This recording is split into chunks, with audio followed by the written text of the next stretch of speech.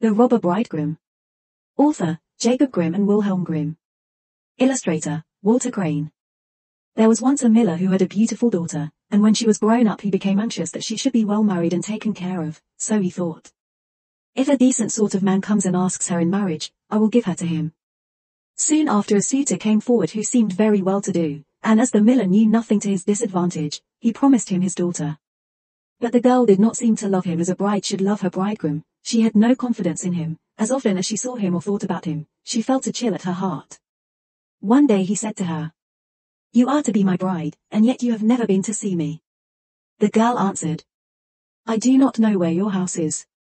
Then he said, My house is a long way in the wood. She began to make excuses and said she could not find the way to it, but the bridegroom said, You must come and pay me a visit next Sunday, I have already invited company, and I will strew ashes on the path through the wood so that you will be sure to find it.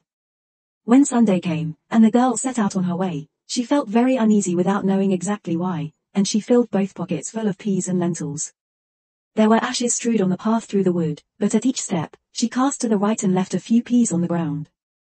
So she went on the whole day until she came to the middle of the wood, where it was the darkest, and there stood a lonely house, not pleasant in her eyes, for it was dismal and unhomelike. She walked in, but there was no one there, and the greatest stillness reigned.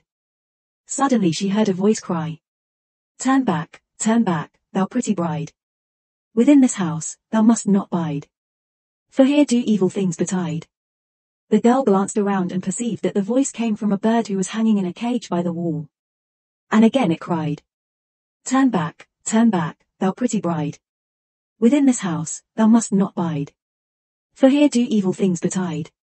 Then the pretty bride went on from one room into another through the whole house, but it was quite empty, and no soul to be found in it.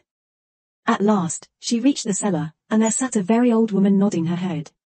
Can you tell me, said the bride, if my bridegroom lives here? Oh, poor child, answered the old woman, do you know what has happened to you? You are in a place of cutthroats. You thought you were a bride, and soon to be married, but death will be your spouse. Look here, I have a great kettle of water to set on, and when once they have you in their power they will cut you in pieces without mercy, cook you, and eat you, for they are cannibals. Unless I have pity on you and save you, all is over with you. Then the old woman hid her behind a great cask, where she could not be seen. Be as still as a mouse, said she, do not move or go away, or else you are lost. At night, when the robbers are asleep, we will escape. I have been waiting a long time for an opportunity. No sooner was it settled than the wicked gang entered the house. They brought another young woman with them, dragging her along, and they were drunk, and would not listen to her cries and groans. They gave her wine to drink, three glasses full, one of white wine, one of red, and one of yellow, and then they cut her into pieces. The poor bride all the while shaking and trembling when she saw what a fate the robbers had intended for her. One of them noticed on the little finger of their victim a golden ring, and as he could not draw it off easily, he took an axe and chopped it off, but the finger jumped away and fell behind the cask on the bride's lap. The robber took up a light to look for it, but he could not find it. Then said one of the others. Have you looked behind the great cask? But the old woman cried. Come to supper, and leave off looking till tomorrow, the finger cannot run away. Then the robbers said the old woman was right, and they left off searching and sat down to eat, and the old woman dropped some sleeping stuff into their wine so that before long they stretched themselves on the cellar floor, sleeping and snoring.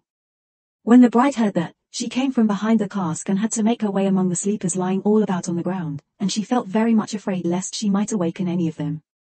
But by good luck, she passed through, and the old woman with her, and they opened the door, and they made all haste to leave that house of murderers. The wind had carried away the ashes from the path, but the peas and lentils had budded and sprung up, and the moonshine upon them showed the way. And they went on through the night, till in the morning they reached the mill. Then the girl related to her father all that had happened to her. When the wedding day came, the friends and neighbors assembled, the miller having invited them, and the bridegroom also appeared. When they were all seated at the table, each one had to tell a story. But the bride sat still, and said nothing, till at last the bridegroom said to her. Now, sweetheart, do you know no story?